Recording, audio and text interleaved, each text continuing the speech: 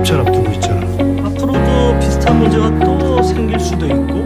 그냥 아니 병원도 아니고 해낼 거야. 시절 나도 친구 하나 없었고 당신 혼자로 게임으로 받았으니까. 저 이제 원인지 아니고 서인지입니다. 감정은 빼고 이성으로 판단해 주세요.